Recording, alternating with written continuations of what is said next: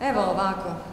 Andrej Plenković je poručio auf građanima koji nisu dio HDZ-ovog legla.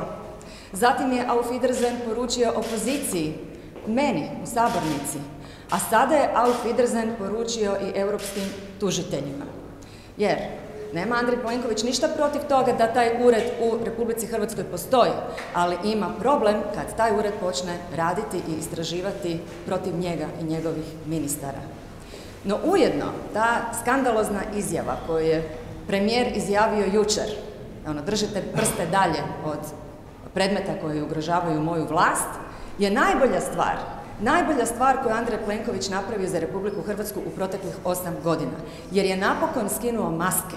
Za njega više nema budućnosti, niti u Republici Hrvatskoj, niti u Europi.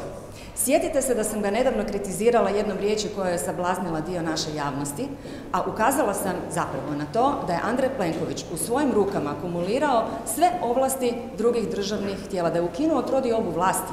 On je ujedno i sva izvršna vlast, i sva zakonodavna vlast, i sva sudbena vlast.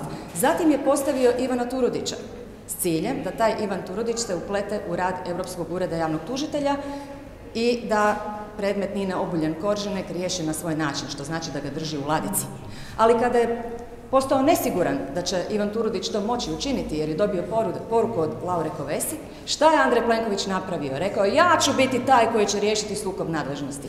Zamislite europskog premijera, premijera jedne europske zemlje koji se to usudio javno reći. Zato kažem, ovo je najbolja stvar i na tome mu se zahvaljujem. Najbolja stvar u osam godine jedne totalitarne, autoritarne vladavine, Andrej Plenković je gotov. Takav autokrat više nema što tražiti. Može izaći na izbore, na tim izborima će od građana čuti što mu svi skupa zajedno imamo za reći. Auf Wiedersehen tebi i tvojoj HDZ-ovoj vlasti.